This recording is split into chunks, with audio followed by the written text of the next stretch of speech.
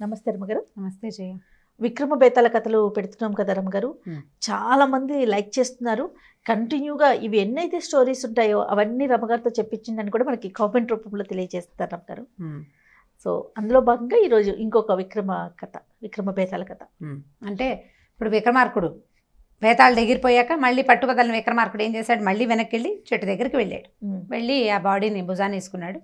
కిందకి దిగాడు నడుస్తున్నాడు. బేతాళుడు ఇంకో కథ చెప్పడం మొదలుపెట్టాడు. ఏం చెప్పాడంటే ఒక రాజ్యంలో రాజుగారు చాలా మంచి గొప్ప రాజుగారు ఉండేవాడు.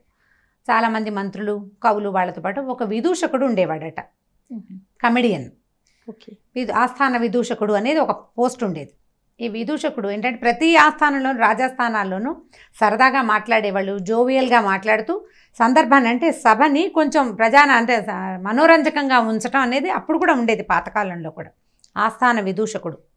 ఆస్థాన విదూషకుడు ఈ రాజ్యంలో ఉన్నవాడు ఏంటంటే మహాకోతి. అతను అమిత వాచాలుడు ఎక్కువగా మాట్లాడేవాడు. అసలు ఏం మాట్లాడుతున్నాము ఏమంటున్నాము అనేది ఒళ్ళు తెలిసేది కాదు. ఓకే. అయితే ఎవరినైనా ఏదైనా ఎక్కిరిచ్చేవాడు. హేళన చేయటం ఎక్కిరించడం ఏదో ఒకటి అనటం. ఏమనాలి మన తమ్- మాట్లాడడం తమాషాగా మాట్లాడుతూనే తప్పులు ఎత్తి చూపించటం. మీరు అది కదా ఇది కదా అని అంటాం. ఇలా చేసేవాడు. అయితే అందరికీ అతనంటే ఒళ్ళు మంటగా ఉండేది కానీ అతను ఏం మాట్లాడినా రాజుగారు నవ్వేవాడు. ఆయన పగలబడి నవ్వేసరికి మిగిలిన వాళ్ళు ఏం చేస్తారు? రాజు నవ్వితే మిగిలిన వాళ్ళు నోరు మూసు కూర్చోడానికి వీల్లేదు. వీళ్ళు కూడా నవ్వాలి కదా. అందరూ నవ్వేవాళ్ళు. అయితే విదూషకుడు వల్ల వీళ్ళకి రాజ్యానికి ఒక మేలు జరుగుతుండేది. ఇప్పుడు ఈ రాజస్థానాల్లో ఏముంది? కొన్నాళ్ళు గడవగా అధికారులు స్థిరపడిపోయి రాజుని పడగొట్టడానికి ప్రయత్నాలు చేస్తుండేవాళ్ళు. అలాంటిది ఒక సెంటెన్స్ అందినా అందకపోయినా అంటే వ్యక్ మన వ్యక్తుల్ని బట్టి వీడు ఇలాంటి వాడు అని మనకు కొంత తెలుస్తుంది కదా. విదూషకుడు అంటే వాడు ఒట్టి వాగుడుకాయగా కాదు. తెలివిగా ఉంటాడు. తెలివి ఉన్నవాడే.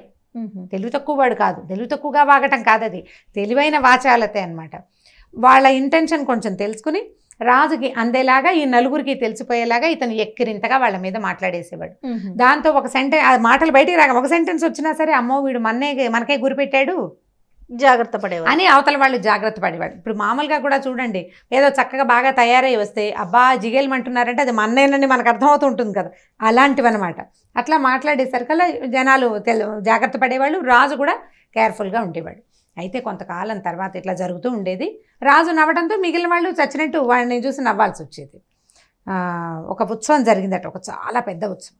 జరిగితే ఆ ఉత్సవంలో ఈ పురోహితుడు అన్ని చోట్లకి తిరుగుతూ ఇలాగే ఇష్టారాజ్యంగా మాట్లాడుతూ వాళ్ళని వెళ్ళని ఎక్కిరిస్తూ గోల గోలగా ఉన్నాడు. సరే సభ అంతా తీరింది. పొద్దున్న జరిగిన ఉత్సవం గురించి సాయంకాలం మాట్లాడేసుకుంటున్నారు. ఇష్టాగోష్ఠిగా అక్కడ డ్యాన్స్ బాగుంది ఇక్కడ పాటలు బాగున్నాయి. ఆ గారడి వాడు ఇది చేశాడు అది చేశాడు అని మాట్లాడుతుంటే రాజు వీడు పక్కపక్క నవ్వుతూ వీడు ఏమన్నాడంటే నేను మూర్ఖుడిని అనుకుంటారు కానీ నాకంటే పెద్ద మూర్ఖుడు మన రాజుగారే అన్నాడు. అనేసరికి రాజు గట్టిగా నవ్వాడు జనాలంతా నవ్వారు. రాజును మూర్ఖుడు అంటే నవ్వారు. అక్కడి నుంచి అసలు మన రాజుగారు నేనే అందగాడిని కాదు నేనే కురూపిని మన రాజుగారి కురూపితమా అంతా ఇంత కాదు రాజుగారికి ఎంత దొడ్డి కాళ్ళో తెలుసా?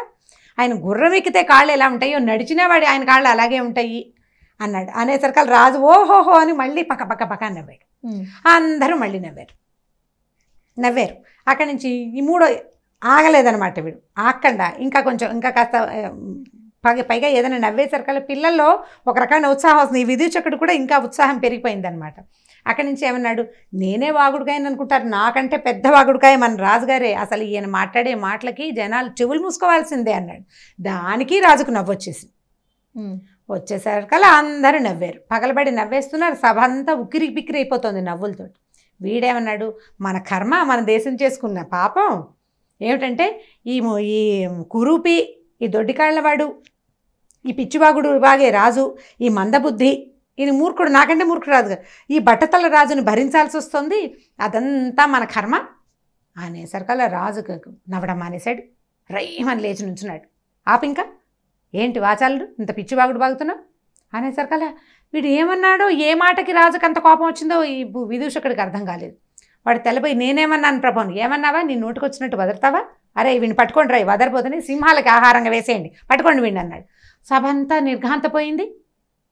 ఆలఫీసాడు అని అట్లా అయిపోయేసరికి అలా సరే ఏం చేశారు? వెంటనే సైనికులు రాజుగారు ఏ చెప్తే చేయాలి వీడు విదూషకుడని అదని వాళ్ళకేం పట్టింది? గబగబా వాడిని పట్టుకున్నారు వాడిని కాస్త తీసుకెళ్ళిపోయారు. చెరసాల పడేసేసారు రేపు పొద్దున్నే సింహానికి ఆహారంగా వేసేయాలి వాడిని. అక్కడి నుంచి ఏమైంది? రా వీళ్ళంతా సభ అంతా తెల్లబోయింది పొద్దుట సరదా అంతా పోయింది సాయంకాలపు సరదా అంతా పోయింది. ఎవరి వాళ్ళు? తెల్లమొహాలు వేసుకుని సభ మెల్లిగా నిష్క్రమించారు జనం అంతా రాజు కూడా రివరివలాడుతూ వెళ్ళిపోయాడు.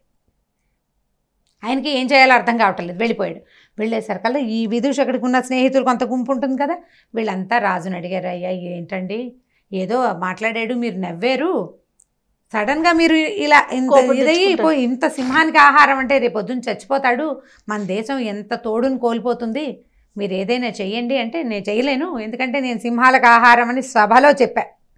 దానికి తిరుగు నేనేమి చేయను. దానికి వేరేగా నేను చేయడానికి కుదరదు. సింహం కనుక వీడిని తినకపోతే నాకు ఓకే. ఆ సింహం తినలేదనుకో బతికిపోతాడు. ఏదో రెండు సింహానికి దొరికితే ఇంకా ఏం బతుకుతాడు? ముందు అది. మీద పడేసరికి గుండె అయిపోతుంది. బతికితే నేను ఇంకా వాడిని ఏమన్నాను చెప్పాడు. అక్కడి నుంచి వీళ్ళు ఏం చేశారు? ఆ సింహాలు వాడి దగ్గరికి వెళ్ళి సింహం ఎవడైతే దాన్ని చూస్తాడో వాడి దగ్గరికి వెళ్ళి ఒరే ఇవాళ రాత్రి దీనికి బాగా మెక్కబెట్టరా ఫుల్గా పీకల దాకా దానికి తిండి పెడితే మర్నాడు పొద్దున్న దానికి ఆహారం అవసరం ఉండదు. వారం దాకా అది అవును. అందుకని వాడికి డబ్బిచ్చి బాగా మాంసాహారం తెప్పించి ఈ సింహాన్ని మేపేసేయి రేపు పొద్దున ఇంకా అది వాడి దేవుళ్ళకి వెళ్ళకుండా ఉంటుందని చెప్పారు. చెప్పి అక్కడి నుంచి విదూషకుని చూడడానికి వెళ్ళారు. ఈ ఏర్పాటు చేసాము ఇదేమిట్రా ఏ మాటకి రాజుకి ఇంత కోపం వచ్చిందిరా? ఏమిటి ఇట్లా అయిపోయింది? నువ్వు ఇలా అయిపోతున్నావు అంటే వాడేమన్నాడు రెడీ అయిపోయాడు విదూషకుడు. చనిపోవటాక చనిపోవటానికి. ఎందుకంటే అంత ప్రీతిగా ఉండే రాజు తను ఏమన్నా నవ్వి తన అన్న మాటకి ఒక్కసారి కూడా ఎదురాడని రాజు అన్ని సంవత్సరాలుగా అతనికి రెచ్చిపోయాడంటే ఎందుకు రెచ్చిపోయాడు? ముందు నుంచి అలవాటు ఉంది రెచ్చిపోయాడు. అంతే కదా? ఇప్పుడు సింహానికి ఆహారానికి తయారైపోయాను. నేను విదూచకుడుగానే చచ్చిపోవాలి దీనంగా చచ్చిపోను నేను. నాకు మంచి విచిత్రంగా నిలబడే రకంగా ఉన్న బట్టలు కుట్టించండి. అక్కడి నుంచి బాగా గజ్జెలు అవి కాళ్ళకి చేతులకి కట్టుకునేందుకు గజ్జెలు కావాలి నాకని అడిగాడు. సరే వీళ్ళు ఏం చేశారు? రాత్రికి రాత్రి ఓ దర్జీవాణ్ణి పట్టుకుని వాడికి రంగులు రంగులు రంగులతోటి పుచ్చు టోపీ ఒకటి చూడంగానే నవ్వొచ్చేలాంటి ఒక విచిత్రమైన డ్రెస్సు. కుట్టించారు అక్కడి నుంచి పొద్దున్నే పది గంటలైంది పొద్దున్నే ఎవరి పనులు వాళ్ళు చేసుకున్నారు. పది గంటలకి బహిరంగంగానే సింహానికి ఆహారంగా వీళ్ళు అక్కడ ఆ ఊళ్ళో శిక్ష సరే ఏం చేశారు? ఈ రెండు తలుపులు ఉన్నాయట ఆ బోన్కి. వీడో చోట ఒక ఒక బోన్లోకి వీడిని తోస్తారు. దానికి ఇంకో తలుపు ఉంది బయటికి. ఈ సింహం ఇది వచ్చే లోపల ఆ రెండో తలుపు దగ్గరికి వెళ్ళిపోరా రెండో తలుపు మనిషి ఇట్లా ముట్టుకోగానే ఓపెన్ అయిపోతుంది. లోపల నుంచి మనుషులు ముట్టుకునేసరికి పై ఎత్తున పట్టుకుంటాం కదా సింహం కింద ఎత్తున పట్టుకుంటుంది అని చెప్పారు అతనికి ఏర్పాటుగా. అక్కడి నుంచి ఏమైంది? సరే సింహం వచ్చింది. వీడిని ఈయన అన్ని వస్తువులతోటి వీడిని కూడా ప్రవేశపెట్టారు. పెద్ద బుట్టలాంటివి ఆకుపచ్చ పసుపచ్చ ఎరుపు నలుపు తెలుపుతోటి రకరకాల రంగులతోటి విదూషకుడు అంటే చిత్ర వేషధారణతో ఉండి అన్ని గజ్జలు గజ్జలుగా కాళ్ళ నిండా గజ్జలు కట్టుకున్నాడు. సరే వాడిని ప్రవేశపెట్టేసరికల్లా ఏమైంది? ఈ సింహం ఒక చోట పక్కన పడుకున్నది వీడిని లోపల తోశారు. తోసి తలిపేసేశారు. తలిపేయంగానే వీడేం చేశాడు? ఒక్క ఎగిరెగిరి అదేదో కోతిలాగా చిట్టగా డ్యాన్స్ చేశాడు. జనమంతా గొల్లుమని నవ్వారు ఆ బట్టలతోటి. ఆ పైగా అతను నడుస్తుంటే పది మంది డ్యాన్స్ చేసేవాళ్ళు నడుస్తున్న శబ్దం వస్తుందన్నమాట. ఆ సౌండ్. రాజు కూడా పుక్కిలింతలుగా నవ్వొచ్చింది. అలవాటైపోయింది నవ్వు ఆపుకున్నాడు బలవంతంగా. ఈ సరే ఏమైంది? ఈ సింహం అది చూసింది వీడికేసి బద్ధకంగా. ఆల్రెడీ నిన్న రాత్రి ఫుల్గా తినేసింది. అట్లా చూస్తోంది ఈ రంగులు రంగులుగా ఉన్నది. మెల్లిగా లేచింది. వీడు ఒక్కోడు ఒక్కోడు చేసినట్టు కాకపోతే ఈ గల్ అన్న శబ్దానికి అది కొంచెం బెదురుతోంది అనమాట నడుస్తుంటే. ఈ ఇన్ని రంగులు మనిషి ఏమో మొహం ఒకటే కనపడుతోంది. గల్లు గల్లుమని శబ్దం. సరే అదేం చేసింది? వీడు ఈ రెండో తలుపుకి వెళ్ళే లోపలే అది దూకడానికి ప్రయత్నం చేస్తున్నట్టుగా అంటే ఎవడో వచ్చాడు వాడి మీదకి దూకుదాం అనుకుంది. దూకబోతోంది వీడేం చేశాడు? మళ్ళీ ఎగిరి ఎగిరి ఎగిరి ఎగిరి ఆ శబ్దం పెంచాడు. సౌండ్ పెంచేసరికల్లా ఆగిపోయింది. ఈ లోపల రెండో తలుపు మీద ఇతను పై వైపున ఇతని చేతులు పడంగానే తలుపు ఓపెన్ అయిపోయింది. బతుకు జీవుడా అని ఇతను బయటకు వచ్చేసాడు. బయటకు వచ్చేసాడు. సింహ బతకంగా ఉంది అది చూస్తూ కూర్చుందనమాట జనాలు అంతా కేరింతలు కొట్టారు అమ్మయ్య విదూషకుడు బతికిపోయాడు బతికిపోయాడు. సింహం. నుంచి తప్పించుకున్నాడు. ఎందుకంటే మామూలుగా శిక్షల్లో ఏమిటి ఒకడు తప్పించుకున్నాడు అనుకో సింహం తినేదాకా వాడిని ఆ బోన్లోనే ఉంచేవాళ్ళు. అయితే రాజుగారు ముందు రోజు రాత్రి వరం ఇచ్చాడు. ఏమిటి వాడు సింహం కనుక తినకపోతే వాడిని వదిలేస్తానని. సింహం బయటకు వచ్చేసాడు సరే వాడి వస్త్రాలన్నీ ఉడదీశారు మామూలు బట్టలు ఇచ్చారు రాజు మళ్ళీ వాడిని అక్కుని చేర్చుకున్నాడు. కానీ వాడు వాగుడు మానేశాడు. అతువాగుడు మానేశాడు.